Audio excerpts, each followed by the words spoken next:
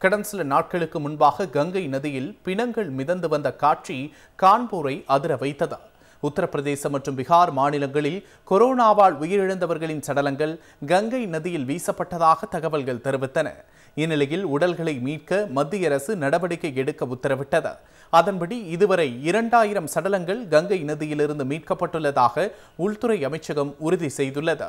இந்த உடல்கள் மிதந்த நிலையிலும் கங்கை கரையில் அரைகுறையாக புதைக்கப்பட்டிருந்த நிலையிலும் காணப்பட்டதாக உள்துறை அதிகாரிகள் தெரிவித்துள்ளனர். கங்கை நதியில் கொரோனா சடலங்கள் வீசப்பட்டிருப்பதை ராகுல் காந்தி கடுமையாக விமர்சித்துள்ளார். கங்கையை சுத்தம் செய்ய கங்கை அழைக்கிறது என்று விளம்பரம் செய்தவர்கள் இன்று கங்கா தேவியை அழ வைத்து விட்டார்கள் என்று அவர் தனது ட்விட்டர் பக்கத்தில் பதிவிட்டுள்ளார்.